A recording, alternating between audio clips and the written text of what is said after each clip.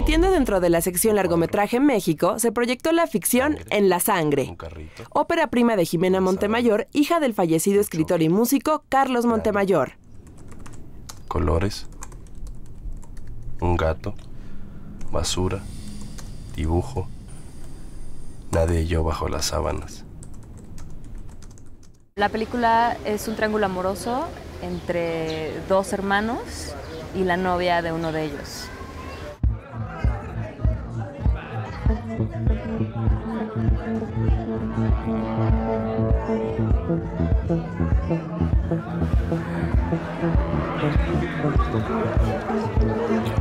Yo quería hablar sobre, sobre el amor y la traición como algo muy humano.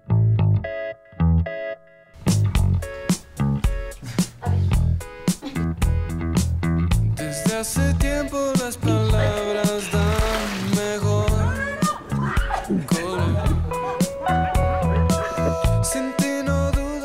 de la película es En la sangre. La película hay una ambigüedad sobre los dos personajes masculinos.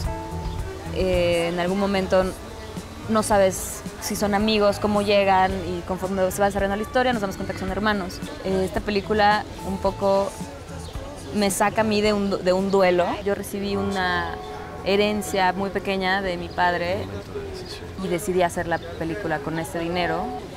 Y hubo una parte que me que esta película como que me, re- me regresó a la vida diaria, ¿no? Sí.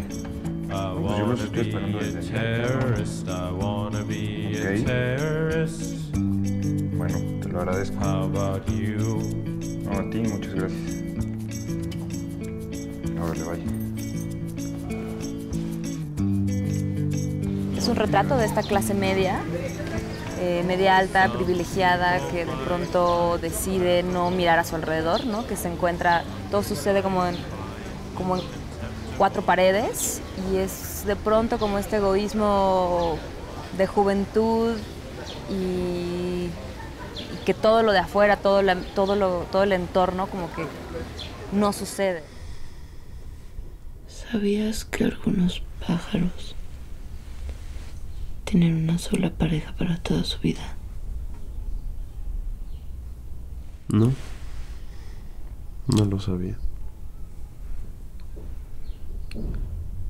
Qué bueno que no venimos de las aves. Era la primera vez que yo dirigía eh, desnudos y había de pronto como muchas escenas de, de sexo que, que me quedé creo que en una cosa como muy cursi y hay veces que yo sentía que no podía extralimitarme, ¿no? Era ok, tantos desnudos, pero hasta ahí. Está bien. El GIF es un festival que, que me ha abierto las puertas de alguna manera. He participado en otros programas, con otros proyectos y me parece que es un festival que es para la gente. Eh, Y mi película es para la gente, es para que alguien se siente y le remuevan.